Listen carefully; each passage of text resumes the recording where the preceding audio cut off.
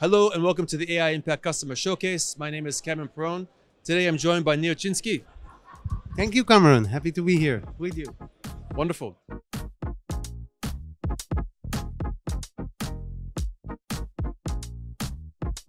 Uh, Nir, can you please explain a little bit more about some of the use cases that you're seeing coming from uh, from our customers and their use on, on AI?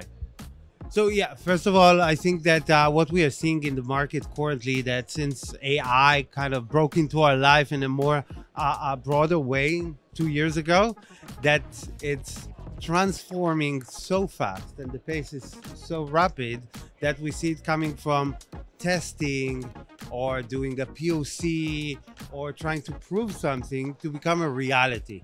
And uh, we can see here today in the show there are at least 10 showcase uh, uh, use cases that we will see, but there's a lot more how companies are actually utilizing AI and becoming from a very nice buzzword to the reality. And uh, actually, it's like becoming uh, part of their daily thing that they are utilizing across the solutions that we are offering in Google Cloud, whether it would be Workspace or Vertex AI or AI Studio or even Gemini, both as a consumer but also as a, a- a- as a as a organization, big, small, and. Uh, one of the most uh, use cases I like, I don't know, probably the audience know about ElevenLabs, uh, but they don't know they're uh, originally from uh, my regency here in Poland.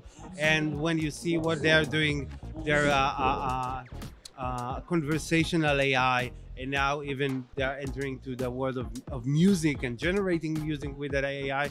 It's amazing because things that used to take so much compute power and a lot of lot of money invested in it uh, they are now enabling that for a user at home in a click of a button and a friction of the price that it was used to cost not that long ago. I'm talking about two years ago. And so for me seeing that and where customers are taking ai in real life it's amazing because uh, sometimes i even find it hard for me dealing with technology to grasp what will be in two years from now okay and i'm always prepared to be amazed because that's what's going and and how i feel about it almost on a daily basis seeing what customers are, are using that technology for That's really amazing. Um, I, a lot of this stuff is it, it's like all in theory, right? We're talking about like POCs. We're talking about like um, in many cases conceptual use cases that the customer can like think about. Um, from your perspective, how are like what are some of the things that a decision maker should should consider when uh, kicking off a POC? So first of all, as I mentioned, POC is, is a good way to start, but I think the industry is already beyond that because there is ROI for AI and it's a proven thing, okay, in a lot of use cases. But definitely as a decision maker, and actually what I see from our customers, that on AI matters, C-suite decision makers are very much involved because they know that if they want to drive that with that innovation and change in their organization, it needs to come from the top. So they're very, very much involved in those decisions. But when they come to take a decision, you know, they kind of ask, what's in it for me? Okay. And then when you start showing the impact of small use cases and how, again, by start utilizing that you can actually create a bigger impact on the whole organization plus their customers of course bottom line and what matters to them. Whether it will be competition or their positioning in the market and all of the things we all know but once they start seeing the impact actually what i've been witnessed they just they they actually put that in their budget and want to invest more because they see that ROI coming very very fast. And again, there are the simple use cases. Oh, I want a chatbot. Okay, that's really scratching the surface of what AI can really do. But the amazing thing is when you start seeing them using their own data. Because I would argue that if you just use public data, how would you actually create an impact? Everyone can use that public uh, data.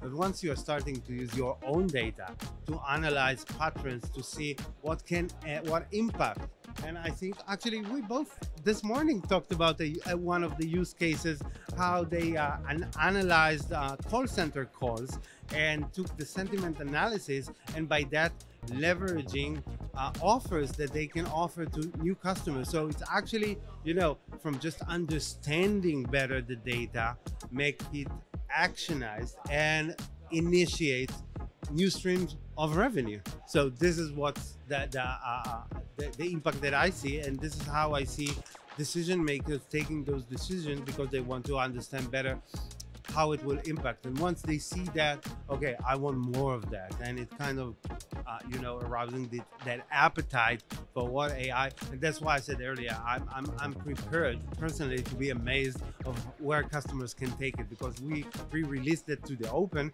and then you see wonderful things happen. Amazing. Uh, it's it's almost like using this idea of uh, agents to to uh, transform the business and to show ROI. And what are some of the other ways that you see customers using this this, this agent model to bring ROI to uh, the business? So I think the kind of the uh, obvious use case that we even demonstrate how those agents can integrate to the life cycle of a uh, you know uh, end customer management if you are an organization that deals with customers or uh, uh, through the life cycle of a product when you're developing it and how do you collect even uh, you know responses from your cus- end customers and integrate it to the r&d process?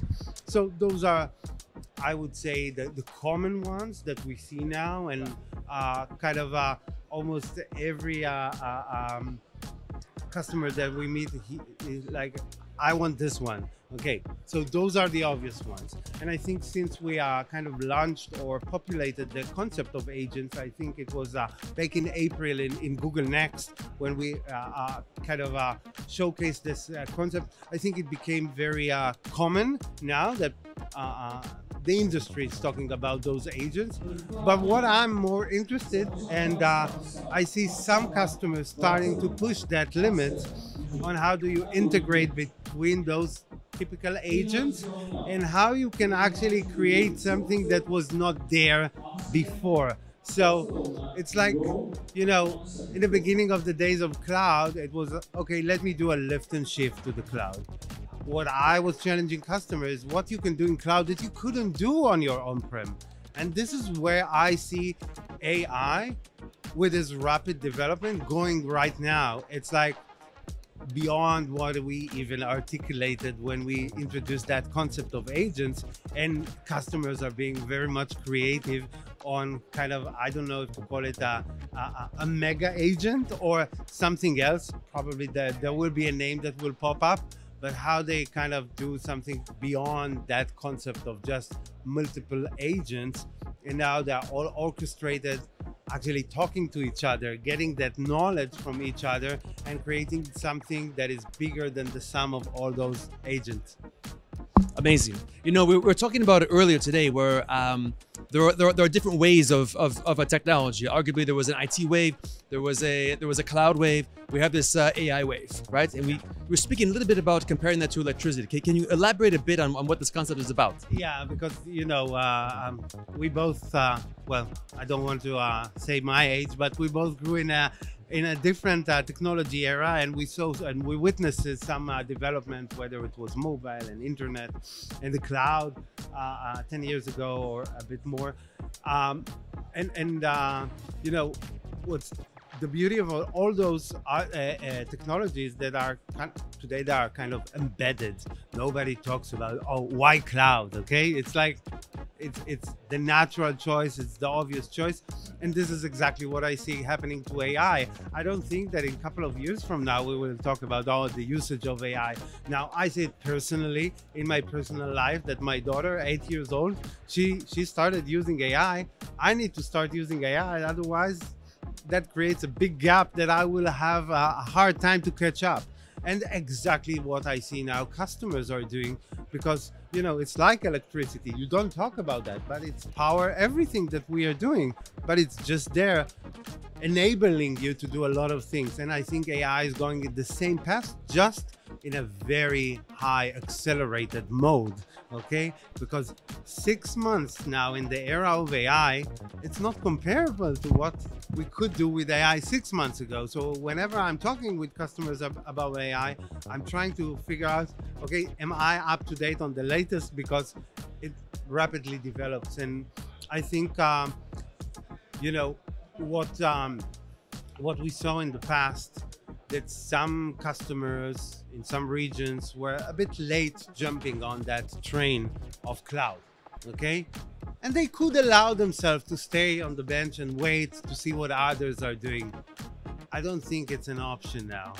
The ai train has left the station. Now because of that rapid pace if you miss jumping on that train you might not get a chance because again the gap will be so big so in order to do that leapfrog, uh, uh, I do uh, urge customers to really think about not just when or if, but actually what use cases they are going to do. Because again, the rapid development and you know i've witnessed i've been uh, uh, in an event that we had uh, also in our region in, in prague two months ago. And there was a ceo of a very successful company uh, consumer uh, uh, deliverable company. And he said out loud in front of all the leaders if your cto does not push you to ai now fire him because that train has left the station you know your competitors are doing that everyone is doing that it becomes the new norm. You better start working with ai no matter what the use case but just start and then you will get the appetite because this is what's happening and again that rapid accelerated mode is uh, kind of forcing you to do things very fast because then it gets uh, the gap is getting bigger and bigger. So personally i'm doing that but also working with customers and showing them their sense of urgency. Again not pushing them to do things they don't need but that sense of urgency of getting yourself familiar with all, what ai can do for you. Because again uh, as i said i think a couple of years from now we will never mention ai it will just be the power that enable us to do greater things Amazing. So uh, seems very clear. Like like AI is transforming the way the customers are thinking about even how they're engaging with brands. Uh, and it's a great opportunity for large enterprises to to modernize the customer experience. Um, this is actually one of the reasons why we created the AI Impact Award is to recognize customers that are beginning to kick off these, these POCs and solutions with uh, Google Cloud AI. Um, what are some of the ways, some of the key takeaways or things that like a decision maker can think about and prioritize so that they are like innovating and they're thinking ahead? What are some of the key steps that a CTO, CIO, or decision maker should think about like taking in the next 30 days if they haven't already got on, got on the train? Yeah. So first of all, the fact that you mentioned the prize, this is a great example. I'm not sure that in five years from now you will give a prize for that. Okay. But um, going back to your question, I think that uh, whether it's a CTO, a VP R&D, or a CIO, I think uh, they should really get themselves familiar first with the basics of AI and what it can do both internally and when they are start thinking about more in a business perspective to their customers and and uh, how it shifts both internally and that impact externally. But i think getting yourself familiar knowledge is the key training your people on some of the AI solutions that is out there. And again, I would argue probably your people already using some of it in their personal life. So it might not be as complex as you might think to jump on that train. I think it's actually not a huge jump. It's really a minor one because uh, uh, we see more and more usage of AI uh, on our daily uh, lives as a as a uh, you know uh, personal thing and, and not just on the professional side. So I think that jump is not really a huge jump, but um, I would emphasize again start doing it now. As you said, in the next 30 days, get yourself familiar with some of the use cases, the common ones, and how they can impact you. And you know, the uh, implementation process, as we are talking about AI and a rapid pace, is also very rapid. So uh, I would say that the time to resolve very quick, quicker than what people actually usually imagine, especially when talking about IT and they think about big projects, multiple months, sometimes years, that's not the case. Okay. You know, the, the, the ROI of AI is actually very easy to be proven and in a very short amount of time. So I think those common scenarios that everyone is uh, implementing or getting into, it, it's very quick to uh, uh, uh to uh, deploy them and to see that uh, effect both internally and externally. But then what I believe and what I witness with customers is when they see that they're getting the appetite. But again, in, let's not do it that in too rapid motion, but in baby steps. There are like the common use cases that probably I would dare to say one size fits all. They they do fit to uh you know probably 90% of the industry. And then you can jump to the more advanced one even though I would always say to my customers, look, you know, if you're not doing that, someone is doing that. Whether it's your competitor, your competitor that was just born now, and he will be your next competitor because he is born into the AI, and you are not you, you are like not native into that. You are just adopting that, and they start with that. So there's a huge difference there. So I think uh, my best recommendation is really use those next 30 days and deep dive into that because there's a huge amount of uh, uh, use cases that are very easy to deploy, very fast impact, and then you start getting the appetite and you see that wow, it's not such a huge project. It's not like uh, well, we talked about cloud. It's not like migrating to the cloud. Okay, this is a very fast, rapid projects that you can deploy and start seeing the benefits really quick. Amazing. So like a few a few takeaways on that. One is like simplify the use case. It doesn't need to be rocket science here. Just like there's very common use cases. Think about a, a key ROI metric that like like a, a, revenue metric for the business that you can measure against. Uh, consider like a 30 day plan, right? It doesn't need to be like a nine month plan or six months plan, but like what you can do in 30 days. Um, fourth is like training the the, the uh, team. But the other thing too that um, that that's, that stuck out to me is your your team is already using this stuff, so it's not like a huge lift. And a lot of these tools are like readily accessible. So it seems like a very uh, simple way to get started. Through that, and I, I and I truly believe that uh, once you start with that, you see that it's really not a high lift and uh, you know there's no heavy burden on doing those things. And uh, customers actually sometimes are really surprised how easy it is to get in. And that's where they are getting the appetite.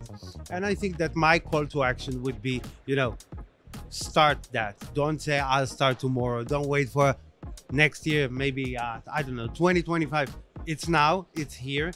It's developing on a daily basis. So um, in order not to, to be too much left behind, started now, and uh, you know, uh, then you will never have to play catch up. Wonderful. Nir, thank you so much for joining me Thank today. You. Thank you.